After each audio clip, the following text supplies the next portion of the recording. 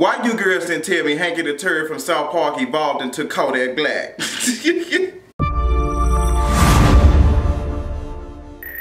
So what do we have here? Another black man that says they don't want to date black girls. Like, we've all heard it before. Um, Kodak Black recently, not too long ago, I think was it, what, like five days ago, on his Instagram live said, I don't, you know, I don't date black girls, I don't. Considering that Kodak Black is the blackity, blackity, blackity, black, black, black, and he says he doesn't date black girls and his mother is black. I think his mother is Haitian or something. What is wrong with you black men when you all get to some type of celebrity status that y'all just, just disown black women? Women who have birthed you all in this world, who have protected you, have taught you, have raised you. What I, I just, I want to understand what bump in the road with your life being trash have you ran into and spilled trash all on the freeway? What part did you hit this curb and say, I don't want to date black women after being surrounded around black women who have been there for you? That, that's something that I just don't understand. Even for me, for being a black gay man, and I don't find myself sexually attracted to women, I always say if I was heterosexual, I would have be a strong black woman and some beautiful black kids, okay? That's about the only thing that I envy about just about being heterosexual. I was like, girl, well, I can still have a family, but you know, just black women are beautiful, and I just don't understand how someone that looks like you, talks like you, and birthed you in this world, how you not attracted to them? Like, what do you like? What type of anti-blackness, blackity, blackity, black type of behavior is that? And where do you bump into that while you doing whatever you're doing with your celebrityism or something? Like, what what happens? I, I'm I'm so confused even talking about it because this man said this and you said this and you have a black mother. Like, I don't understand it. So what happened? I want to, when men, black men say stuff like that, I want to interview them and find out. I actually don't want to drag them in person. I want to interview them and find out what it is so we can fix it. Is it something in the DNA that we need to eradicate or something? Is some type of brain dead cancer or something that is killing our black men once they become celebrities that they just think that they're not supposed to date black women no more? Like, do you all just step on black women and once you get to um, a certain status, you don't want to be surrounded with them because you might be looked at as less than? Like, what is it that's causing you all not to be attracted to black women? I don't understand this anti-black behavior and the more I think about it, the more irritated I become. Oh, Kodak Black was on his Instagram after it went off about three minutes. He was on Instagram live and he said, you know, people asked him questions, he said he don't date black women. And we get this time and time again. You all remember Tracy from the show Step It Up. She put up something on her Facebook and she was just talking about, you know, as we watched the BET Awards this past weekend, how she did not see a lot of black dancers. And I've listened to her, you know, steady preach about being a dark-skinned woman and dancing and how that she had went on video shoots.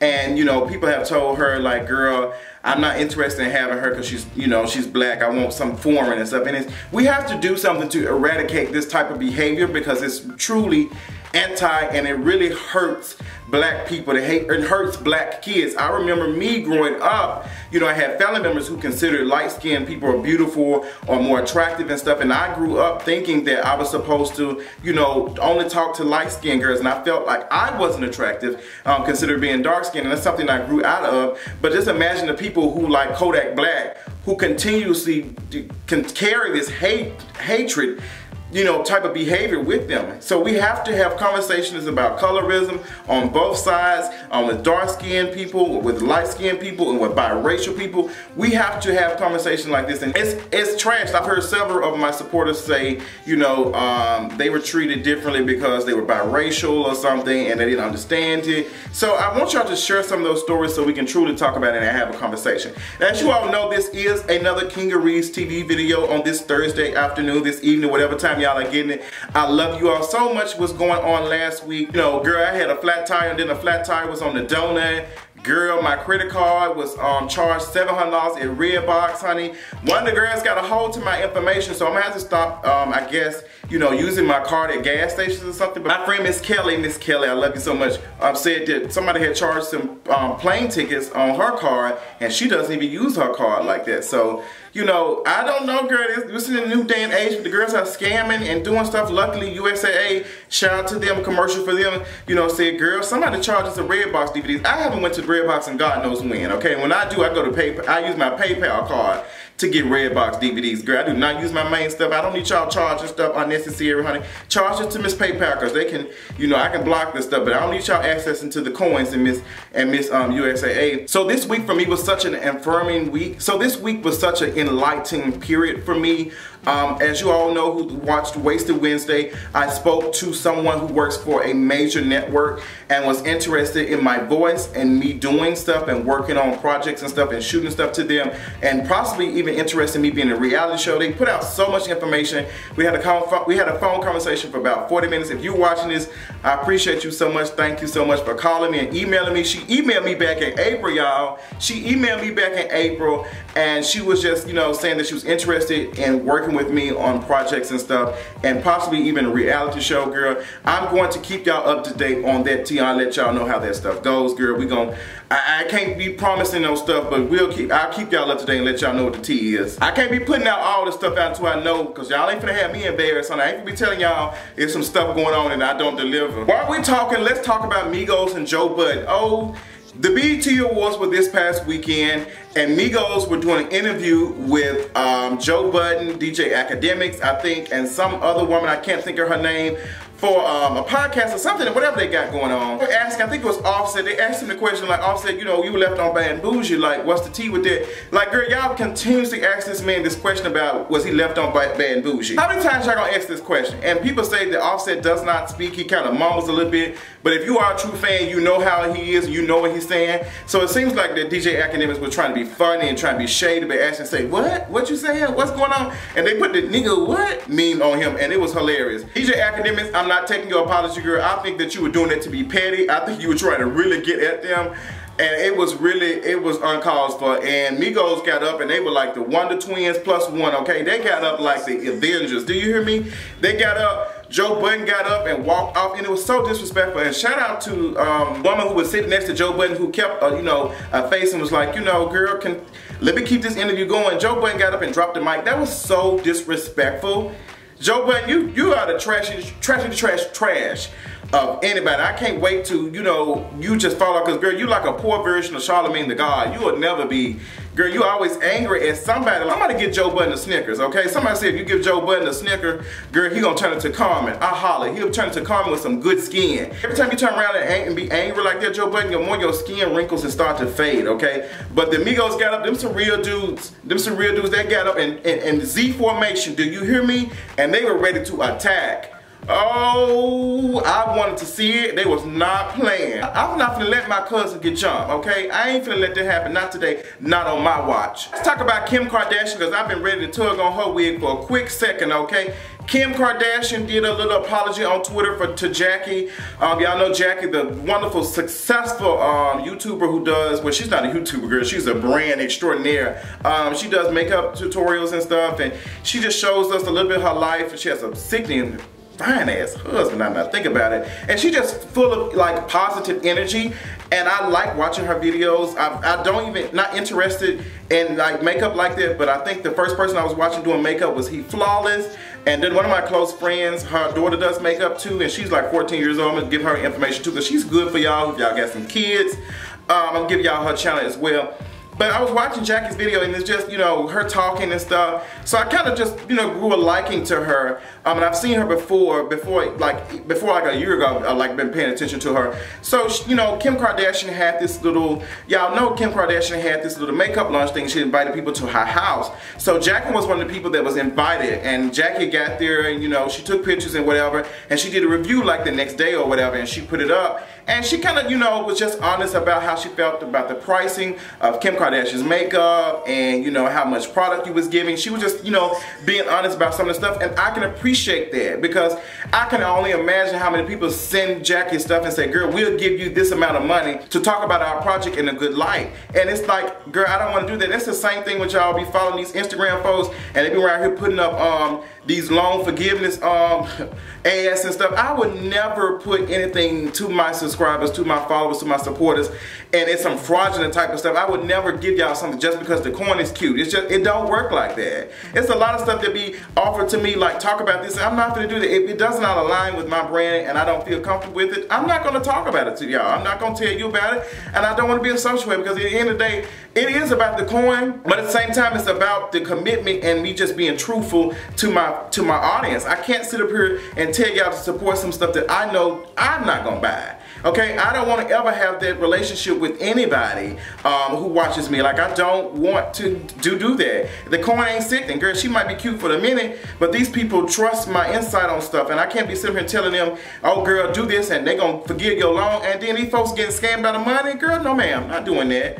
So Back to the story, Jackie was not tagged when um, Kim Kardashian put the pictures up on her Instagram. Jackie was the only person that was not tagged. The only person. Now, they called out Kim Kardashian that weekend and said, girl, where's Jackie? They tagged her, tagged her, tagged her.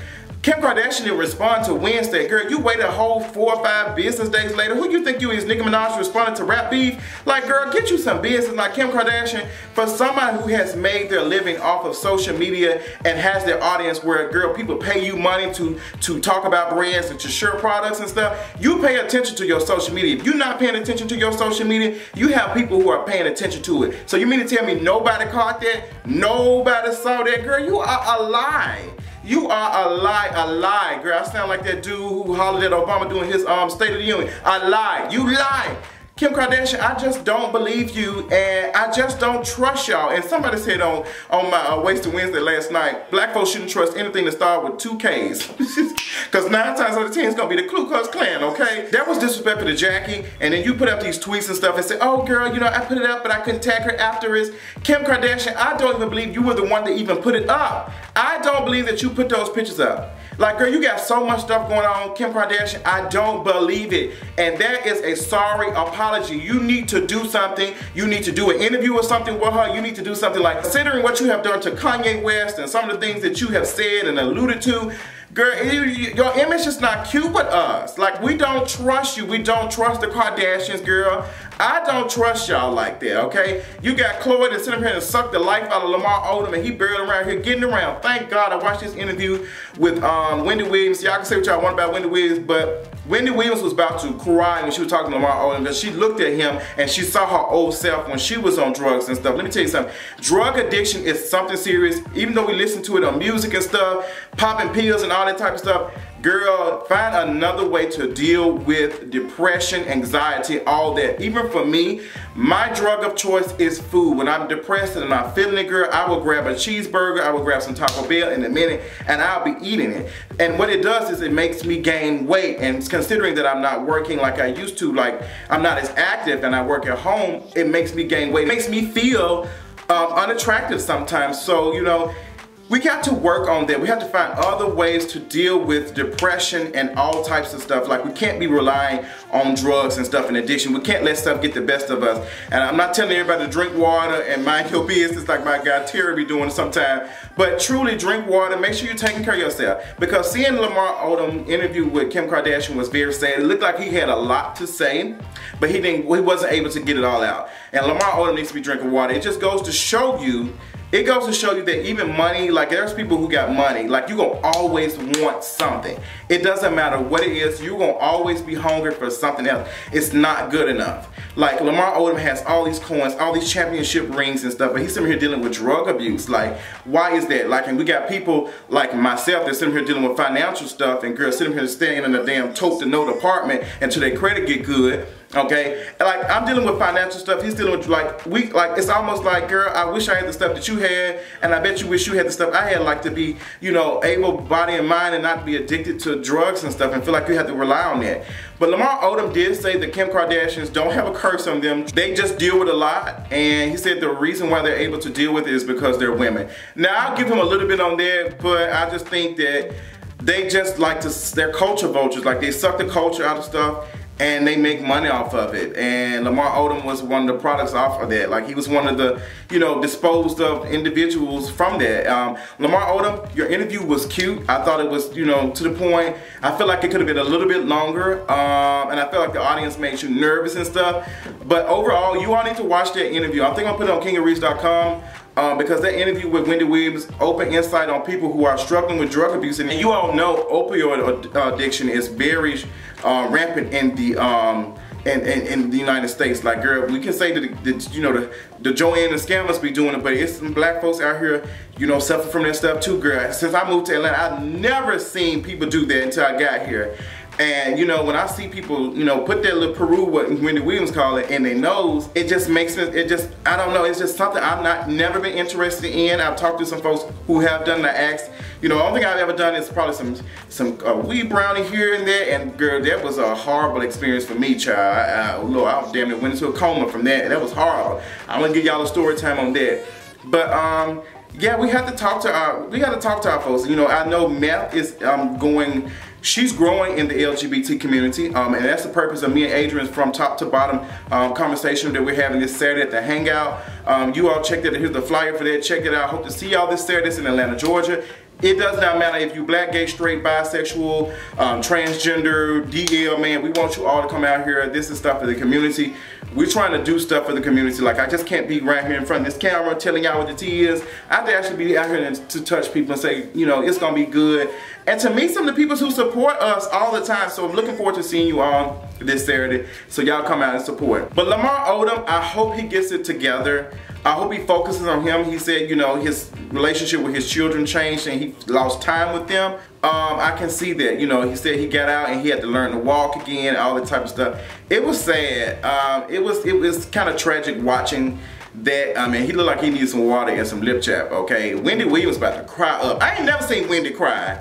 And you know, when they were talking about the Kardashians, it made me also think about this um, article that was written today that was talking about pretty privilege and stuff. And Wendy had made a comment about um, Khloe's new body and stuff, and and, and, uh, um, and Lamar had said, you know, she's always been beautiful to me. And I think that's important because the more we pressure people on body image and to look like this and to be thin and, fix this and that, we stress people out. This environment, this world, I'm telling you something, you walking every day existing, girl, you already doing more than anybody else, okay? Because girl, this world is stressful, girl. It's, there's so many times that I've said, girl, I've had enough. Suck on my, I almost said, girl, I've had enough of this. Let me just lay down, honey, I'm tired. And I'm pretty sure we all have moments like that. You know, it's just, it's a lot of pressure that we put on people 24 7. Look like this, be like this, make this money, go to school, do this, make this, um, be able to survive, be able to like, girl, it's a lot. It's a lot. I'm just like, girl, did, were we really asked to do this? Is this my, my goal to actually be on this planet is just to be working all the time and paying bills and paying debts?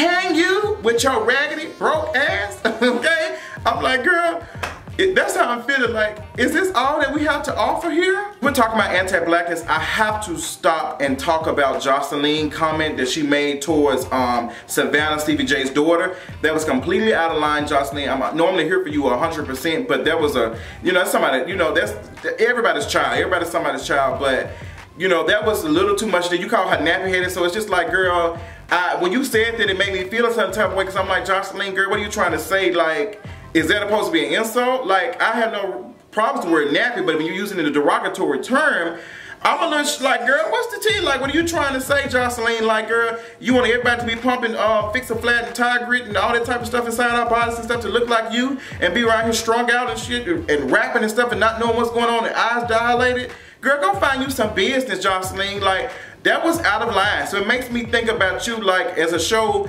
that has been prospering because black people have been watching it and you sit there saying some anti-black stuff. Joseline, girl, that was not the look. You need to, you owe that girl an apology. Um, you owe uh, for apology for your, how, okay, you owe apology, but Joseline, that was completely out of line. Girl, you blocked me, but I got other Twitter accounts, okay? I got two more, honey. I got for the culture, and I got King of Reads, okay? I'm gonna have to drag you on that, because, girl, that was out of line. Out of line. Too much. Like, what did y'all think about that? Did y'all think that y'all, when y'all saw that, did y'all was like, girl, Joseline, what's the tea? What you, what you doing, sis? What you doing? Rihanna got a new man. Girl, who cares? Rihanna got a new man, child. The black man said, oh, she can't handle no black man. Girl, somebody said, y'all can't swim, honey. Ain't nobody interested in some of y'all trash sales, but it's just not going to say that all black men are trash. But like I hate to say, it sound like I'm talking about police officers. Not all y'all are bad, but um, Rihanna got a new man, and girl, they saying that this um, Naomi Campbell's um old boo thing. So girl, Rihanna. Don't tell me you one of those, sis. Girl, some Love at First Night teas. Oh, and Love at First Night come out tomorrow, honey. Love at First Night, honey, that web series that I interviewed that you all loved is out tomorrow. Check it out on Slate TV. I'm gonna put the link out for honey. She's gonna be on YouTube as well, honey. Y'all check it out. It's gonna be, it's, it's, it's lit, okay? It's lit, okay? Girl, I'm starting to sound like the BET or what? It's lit, it's lit, it's lit, it's lit. Kind of girl, if you are sleeping with that woman's man, girl, even if it is an ex, I hope you ain't one of those friends, sis.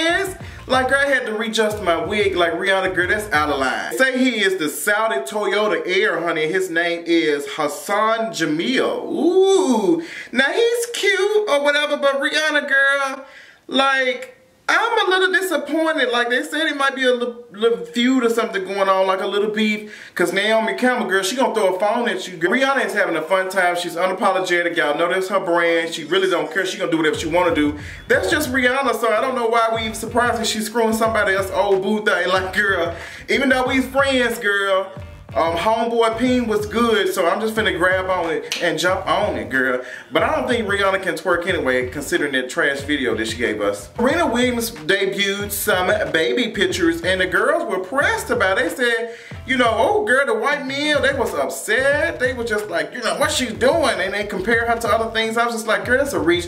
Serena Williams, you looked beautiful, girl. Congratulations on you and your pregnancy. Sickening, thick, cornbread fed black woman. I'm here for, I don't care who you married to, honey. Get them shmoney, get this shmoney. Back on shmoney, I still think that uh, Cardi B should have won that award, not Remy Ma, but that's a whole nother story, okay? Girl, speaking of that, did y'all see Nicki Minaj's performance at the NBA Awards? Girl, she was around here twirling around Girl, your performance in front of that plane, this happened, go to prom. And you spin around in fires and stuff, girl, that was more sickening than what you did. She was trying to give us some Sasha and she ended up giving us Sasha Flop. But this was another cute episode of Kingeries TV. I hope y'all enjoyed it. Remember that I do Wasted Wednesday every Wednesday. A couple of church announcements for the girls and the boys and everybody under the sun. I will be hosting a competition September the 30th in Florida. Here's the flyer, y'all. Make sure y'all check it out. How do y'all support? They are raising money.